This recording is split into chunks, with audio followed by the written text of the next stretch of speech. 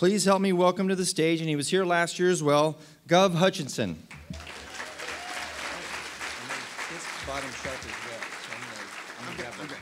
All right. Morning. Good to be here. Glad to be here. What a beautiful spot. I think this is an upgrade over last year. What do you think? The location, very nice. Um,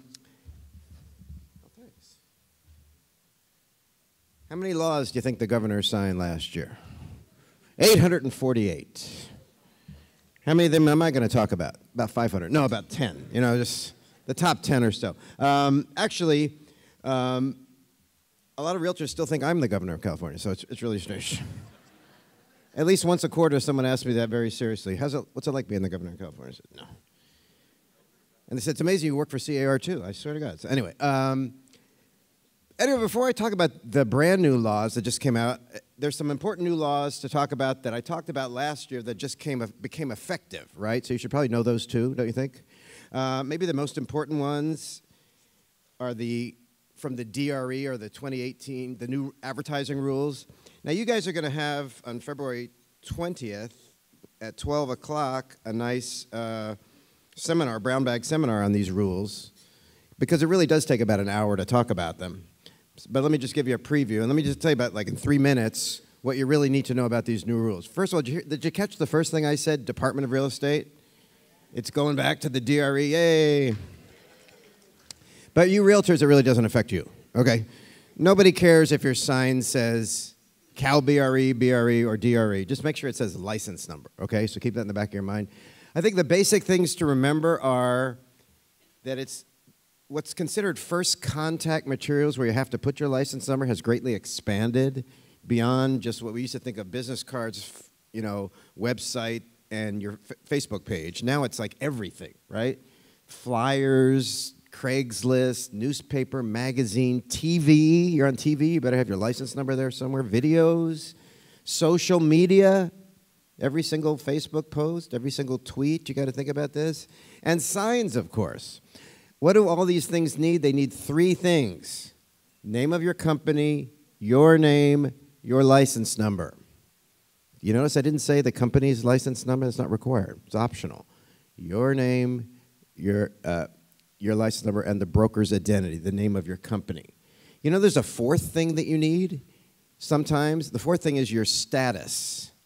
What do I mean by that? I mean your status as a realtor, licensee, broker. In other words, if the name of your company has the word real estate in it, or realty, or estates, or properties, it's pretty obviously a real estate company, right? But what if you the name of your company is the John Smith Company? listed by the John Smith, Company, you know, for sale John Smith Company. You'd have to write somewhere in there that that's a brokerage office, that you're an agent or a broker, something like that. Gen or if it's a nationally recognized, you know, Remax Century 21, you don't have to do it either. But if it's just a generic name that doesn't show it, that's the fourth thing you need, okay? Are there any things that can still be generic? Yes. A for sale sign can still just have the broker's name. But if you put your name there, then you also have to put your license number. What about a open house sign? This way to the open house. Well, that can still be completely generic. But if you put your name there, you've triggered everything else. Company name, your name, and your license number. Okay? That's a quick overview of, the basic things. You know, in the last month, when I drive around, I look at signs. I'd say nine out of ten are not right. You know, so you might want to start complying. Some of you are thinking, hey, there are 200,000 realtors. How many people can possibly work at the DRE? They're never going to catch me. So, which realtors are going to get in trouble? The ones that get turned in by other realtors. So, and I know the DRE is here and they can address this, but uh, go and look at your competitors' signs, and if you don't, you know, turn them in. They'll be glad to hear from you, okay? Uh, by the way, the other thing, remember, is there's special rules for teams teams. If you want to market with a team name, let's say I, I live in Culver City. Let's say I was a realtor, worked for Culver City Realty. And I take a listing listed by Gov Hutchinson, Culver City Realty. There's no rule that, that says my name can't be bigger than my company name if my company doesn't care. But if I have a team, the Hutchinson team at Culver City Realty, I cannot make my team name more prominent than the company name. What does prominent mean? To me, it's the size of the letters. What else could it mean, right? or my logo can't be bigger than the company logo. That's if I choose to market as a team, and all team advertising has to have the real name of at least one of the team members and has to have the license number of that person, and a team name has to have the word team, group, or associates. I can't call my team name Hutchinson Realty. I'd have to call it the Hutchinson Realty team, right? And I can't, what if I want to call my team the, the, the Hutchinson Gang? Doesn't that sound cool? I can't do it. All right, enough on that. Another thing that became effective this year is all the marijuana stuff. Marijuana's legal, yay. No, just kidding. Um, but did you know there's now a whole licensing scheme? So if you want to, I mean, do any of you realtors have clients come up to you and say, hey, could you find me a house that's good for growing marijuana? Or did any of you realtors start advertising yourself as, I'm the marijuana realtor, call me, you know? You got to be careful. You got to be careful because to be in the, in the business of, of growing, selling, manufacturing, transporting marijuana, you need multiple licenses. You need state, you need local. It's not just Prop 64, I can become a drug dealer now. No, you can't. Um, and I'm telling you this because in case your clients, some clients have crazy ideas about this, and you have to sort get a lawyer, make sure you're okay to do this. And you know, the city in question, the locality in question, doesn't have to license it. What if you're in a city that doesn't provide these licenses and you need your medical marijuana? You got to go to another place where they are licensed. Go to Humboldt; they'll be licensed. I guarantee you. I mean, go to Grass Valley. It's it's it's named that for a reason, by the way. Anyway. Um, you can do that, okay? What about these medical marijuana nonprofit collectives that are out there? They're going to be phased out. Even to provide medical marijuana, the provider's going to have to get be licensed, okay? All Prop 64 says you guys, everyone who's over 21, can grow six plants inside and keep all your grow. Or when you're moving around, not at your home, you can have on you at any time 28.5 grams. I think it's an ounce. That's all Prop 64 says. It doesn't give you any authority to, to grow it outside, to smoke it outside, to sell it. You can have an ounce, six plants, and landlords can say no. Landlords say, I don't care about Prop 64, I don't care about medical marijuana, not here. They can absolutely say no. So you're really only right is if you own your own home, grow six plants inside. That's really all you can definitely do, right?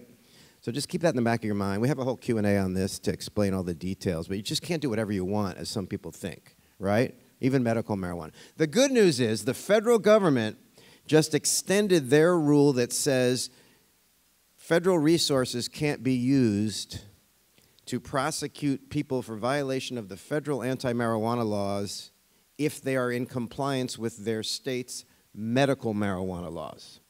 Did you notice I didn't say recreational? they actually came out with a policy statement to all U.S. attorneys out there, feel free to go ahead and enforce the federal anti marijuana laws against recreational use. In other words, even if you're in compliance with California's recreational use. It doesn't automatically protect you. So we'll see how the U.S. attorneys in California, how aggressive they are. I don't think they'll be that aggressive, to tell you the truth. The Colorado U.S. attorney already announced, I'm not going to be real aggressive here. You know, that's, that's Colorado. I don't know how, how it is here. All right. Couple more things that I talked about last year that took effect. Remember, do I have any landlords or property managers in the room? Did you give all of your tenants the bed bug form yet? All right. That was required.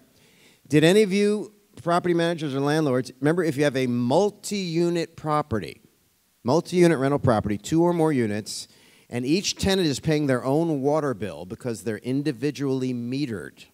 If that's you, you have to give each of your tenants another new form, the water meter form. So those are two forms you must give to your tenants. Bedbug form, every tenant. Water meter form, some tenants. So those are things I talked about last year that became effective this year. Okay? Let me talk about brand new things. You all have a booklet, right? If you want to follow along, um, there's a part and it says 2018 California laws. You don't have to follow along if you don't want to. You can just listen to me. But if you want to follow along with me, I'm just going to hit some of the some of the. The good news is there's not a lot of really onerous new laws. I think the, the most onerous new laws are the ones I already mentioned. You know, all these new advertising rules and limitations on marijuana and all that stuff. You'll see the ones I'm going to talk about, there's nothing too horrible. That's good, right? Do you want horrible new laws? Right. Thank goodness. Okay. Um, so if you're all looking at it, the very first page says broker practice trust funds. There's a new rule that says brokers, if you have a trust account and you want to authorize any of your employees to have access to the trust account, it used to be you had to get fidelity bond coverage for the employee. Now you have a choice of that or getting insurance instead. No big deal. Next page, it says disclosures HOA. Have you ever been gouged by an HOA? Isn't it crazy? You take a listing and they charge you $800 to provide these documents. Did you know the law says they can only, they can only charge their out of pocket costs? How much could that possibly be? 50 bucks? How do they get away with the $800? Because they say if you don't do it, we're not, if you don't pay, we're not going to do it. Theoretically, at, at close of escrow, the seller could then go sue their old HOA to say, you charged me too much, prove that you actually incurred that cost. I don't think many sellers do that. What's changed now, this year, HOAs, on the billing form that they give you, they have to tell the seller, hey, seller, if you've already got any of these documents, you, you, we can't charge you for all of them. In other words, just tell us the ones you need, and we'll only charge you for those. So that's one good thing, right? Also, it says, also, if you live in an association like I do, and the annual report that the HOA sends to its members each at the end of each year, they have to now provide a schedule that shows how much they charge for each, you know, how much for the CC&Rs, the rules, the budget, the reserve study, the articles, the bylaws. Why is this good? Because you'll be able to see how much they're going to gouge you before they actually gouge you. So maybe you can get together with your fellow residents of this HO, common interest development and go to your HOA and board of directors say, you're, gonna, you're adding $800 to the cost of my sale if I decide to sell. That's too much. Let's change the schedule. So there's a couple little good things, all right? Um, and that was CAR sponsored. Next page, you keep going along, disclosure, Megan's Law.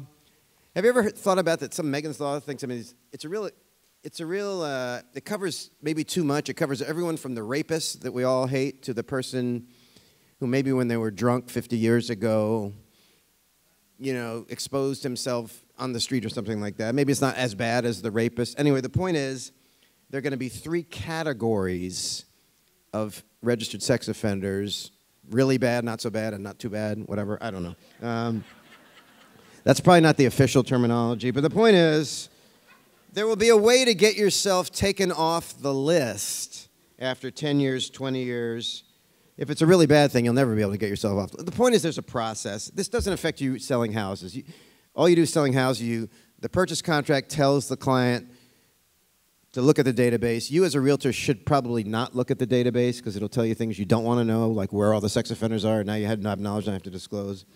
Remember, there was a San Diego case. It was, was not appealed, but there was a San Diego case where the issue was: Does the listing have to? Does the listing agent have to disclose if the seller is a sex offender? The agent said, I don't think I have to. The guy's leaving. Guess what?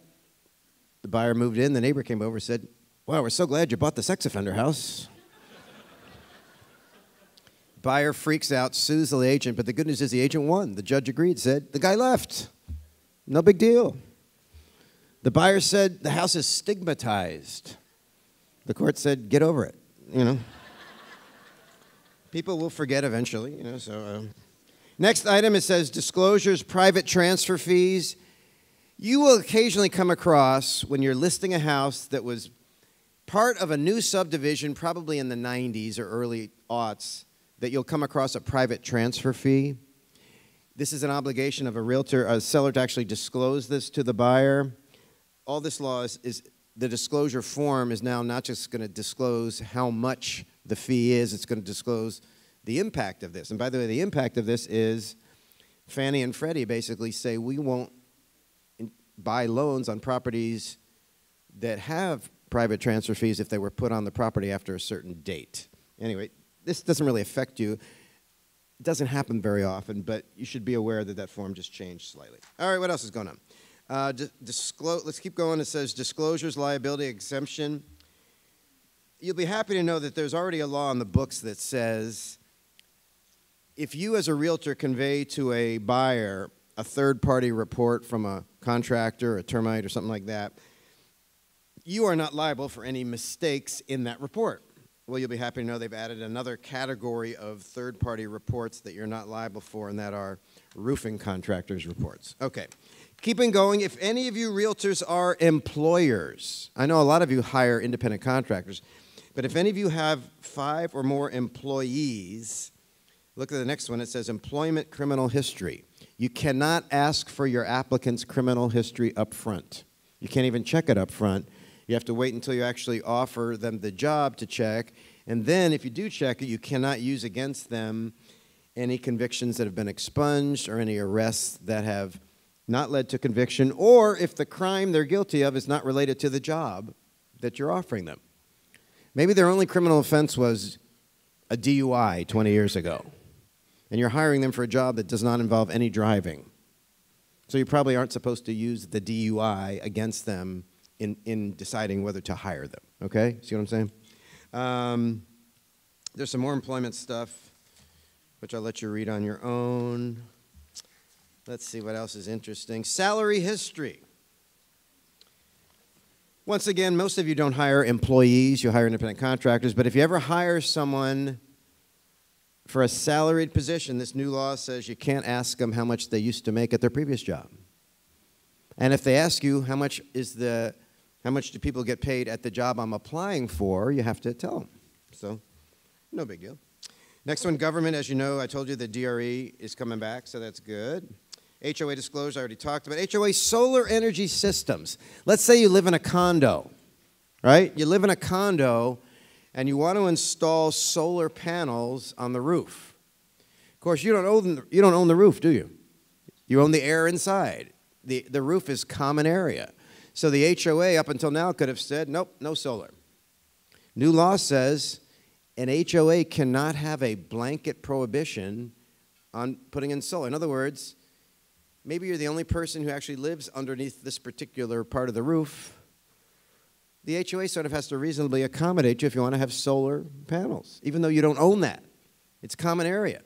It used to be to allow you to have exclusive use of the common area, they'd need a, a two thirds vote of each individual owner, but they can't make it that strict anymore. The point is, you can probably get away with insisting on having solar, depending on the circumstances. It's not that 100%, but, but it's, it's interesting if any of you are considering that. Next one home inspectors, swimming pool safety. Aha. Home inspectors don't like this. But now, home inspectors on their inspections have to call out whether, if the property they're inspecting has a swimming pool, they have to call out if the swimming pool has any of the required pool safety features and how many. Did you know every swimming pool built after 96 and every swimming pool that if you already have a pool and you are remodeling the pool, the pool you have must have one of six safety features. This law says it now must have two. What are the six safety features?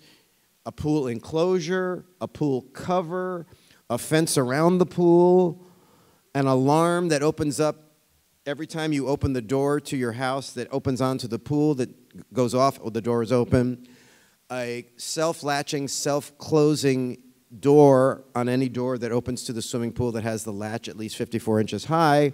Or the sixth one is you can have an alarm that basically goes off every time something goes into the water.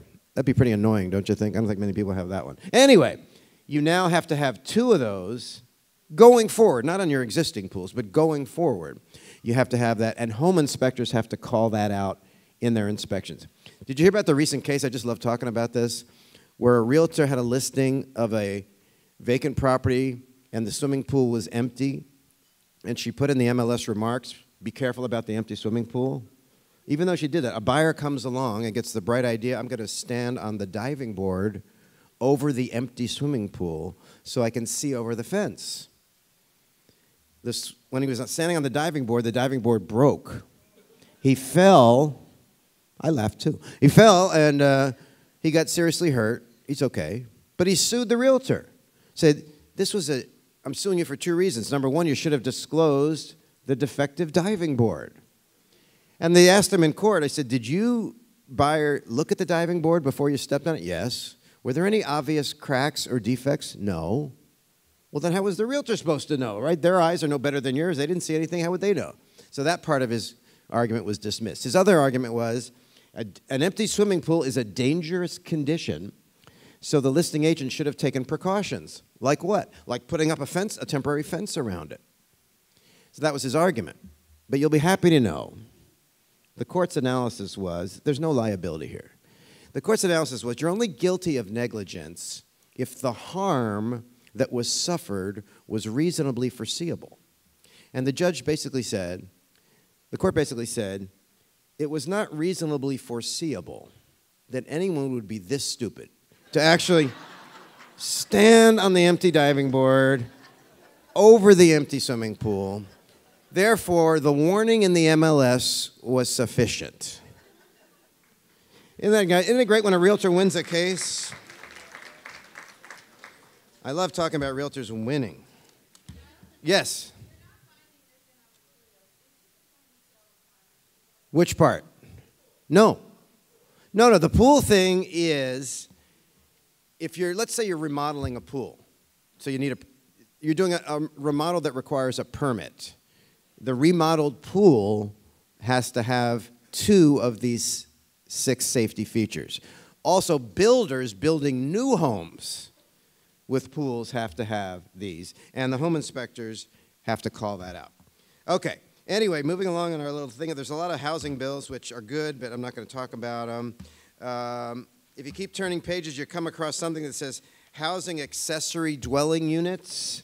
These are fancy name for granny flats. I told you about a law last year that makes it easier to get approval for second units. That law was expanded more this year to make it even easier. So if you in San Diego or whatever city you're in want to build a second unit attached to your house or separate attached to the house, the city that you're in cannot be as strict as it used to be in asking you to say things like, oh, you have to build a carport, you have to have three extra car parking spaces, you have to have a separate utility connection. I told you last year they said you can't require carports, can't require separate utility connections. Now it's been expanded to say can't require more than one new parking space to accommodate the second unit. You can't, and here's the one some cities and HOAs prohibit tandem parking, you know, parking right behind each other. This law actually says if you have a second unit, you don't have to follow that rule if there's an anti tandem parking rule where you are. Isn't that interesting? Uh, and the point is, what I'm really telling you is, um, if you or your client wants to add a second unit and you're getting pushback from the city, you might want to call a lawyer, call the hotline, and we'll, we'll compare what the, what the restrictions are. In other words, this is a state law that supersedes local laws to say this is the state law, this is what a city can require to authorize you to build a second unit. So if your locality is requiring more, you would tell us and we would get involved and, and, uh, and help out with that, okay? Um, next, keeping going along, landlord tenant. Here's a new one for you landlords. You must disclose to all new tenants going forward if the property is in a flood zone. Not existing tenants, new tenants. Fortunately, on the new residential lease form, recently updated, there's a new paragraph, checkbox, yes or no, is the property in a flood zone? You may say to me, how do I know if I'm in a flood zone? Get an NHD report. I mean, if you already have an NHD report because you bought the property three years ago, of course, they sort of remap flood zones, don't they?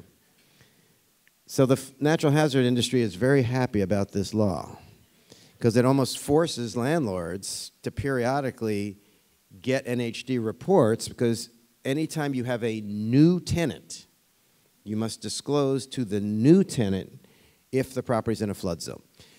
What if you're using a lease form, but it's not the CAR lease form? Shame on you is point number one, yes. Um, but we're also going to have a one page thing you can attach to whatever lease form you're using to make this flood hazard zone disclosure, okay? Turn the page. The next thing, landlord tenant immigration status. I know none of you landlords would ever do this, but they went to the trouble of passing a law that says not only can you not ask a prospective tenant for their immigration status, if you do know their immigration status, you can't disclose or threaten to disclose their immigration status to anyone as a means to intimidate her or harass. I'm trying to visualize what that means. I guess what that means, landlord says to a tenant, I'm going to double your rent. Don't complain or I'll turn you in. See what I'm saying? Don't do that, okay? Um, that's really what that's saying. Um, the number one question we get on landlord tenant on the legal hotline now is pets, you know, service animals. You'll notice there's nothing in here talking about that. I mean, it does say landlord tenant pets. Certain HCD housing must have pets, but that's not what I'm talking about. I'm, tell, I'm giving you bad news in that we tried to sponsor a bill that would define what companion animals really are, and it didn't get through. So you're stuck where you are before. I mean, if you're a landlord, you can definitely say no pets, right? You have to allow service animals, but service animals are pretty clear, right? Those are dogs that have been trained to perform a task, and you're entitled to some certification that the tenant is disabled so that they require an animal to help them with this task. I mean, it's sort of cut and dried if they meet those requirements. But the problem, of course, are companion animals that aren't trained. What if your tenant shows up and says, I, have a, I, I need a companion animal, and here, meet my new gorilla that is my companion animal. Meet my mongoose, meet my python, meet my chicken, my turkey, meet my three Dobermans I have to have. Two are not enough, you know? Can you, as a landlord, say no? Well, the answer is you have to reasonably accommodate. Is it reasonable to accommodate a gorilla? No, you're okay there. What about a pit bull? You don't mind pit bulls, but your insurance company says, we will not insure your property if it has a pit bull. So you go to the tenant and say, I'm sorry. The tenant says, I don't care about your stupid insurance company, I want a pit bull. Who wins that argument? The pit bull. Just kidding. Um, the point is, what we have found is it depends on the judge. Some judges will say, well, since you're going to lose your ins- insurance, it's reasonable for you to say to the tenant, get a different companion animal. Other judges have said, have you checked every single insurance company in the state of California? Yeah, I found one 300 miles away that will insure me if I quadruple what I pay. And they'll say, well, then pay it. That's reasonable. You see what I'm saying? There's no rules. It's case by case. We need rules. I'm telling you this just to get you mad and upset because we don't still don't have rules. We're pushing we're now we're trying to get the Department of Fair Housing involved. Did you guys, any of you see on TV yesterday, the lady trying to get on plane with the peacock on her shoulder? I mean, seriously, you were wondering about that. Is that the only companion animal she could possibly get? Um, keeping going, we're almost done here on the uh, Pace Consumer Protections. Getting back to solar energy, the previous gentleman he talked about the quote unquote scam that I agree with that some of these PACE liens are. There's a new law that doesn't even just apply to PACE liens. It says, in general, if you are getting, want to get solar energy on your property, the solar energy provider must now provide a, a pretty detailed disclosure document, which has a lot of good things like how did they arrive at their estimate of how many panels you need? How did they arrive at how much energy they think your panel is going to provide? How much money do you have to save on your electricity to justify this? Are there going to be any new fees you have to pay the utility? Um, what's the difference in cost comparing side by side between leasing and buying? So I think it's a, it's a good consumer thing. It applies whether they're using PACE financing or any other financing. Consumers who want to get solar uh, solar energy, there's a new disclosure form that the must be provided by the solar energy provider. Now, if you turn the page, the next one it says PACE Lien Consumer Protections.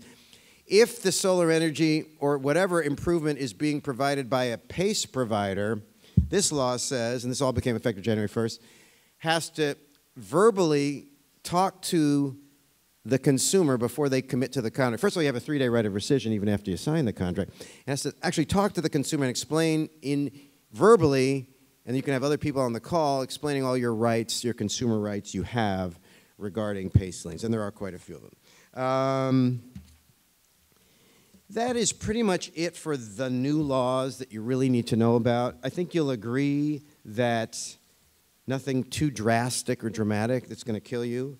Like I said, the, probably the most significant ones are the advertising rules, which no one is complying with, and I think you need to start complying with. Um, you don't need new signs, by the way. You can get riders and stickers. Get your Sharpie out if you want to, and you know, just start making changes. But, but I already know realtors who've been fined. I already know real. It's not like there's a grace period. I know realtors who've already been fined hundreds of dollars. So you got to comply with these laws. They are important. Um, as far as new forms to cover this, I, the, so uh, other than the, you know, the new form on bed bugs, the new form on water meters, the new form on flood hazard, all of that has been incorporated into the lease form. So that's a nice change, right? All this stuff is, is together on the lease form, so be, be ready for that. Uh, are there any other new forms? Are there any new forms you should know about? There's a new team agreement form. I recommend if you're part of a team, maybe you should put your relationship with your team leader in writing talking about what your rights are, responsibilities, et cetera, et cetera. What if I leave the team? What if I leave the company? All that kind of stuff. We have a new team agreement. We have a new form called the Property Images Agreement. If you hire a photographer to list or video your, your listing, you might want to get a written contract with the photographer that basically says you, the realtor, own the pictures and the videos.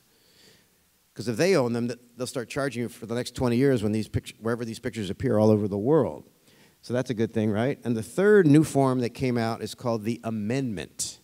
You're saying, why do we need that? We already have an addendum. Why do we need an amendment?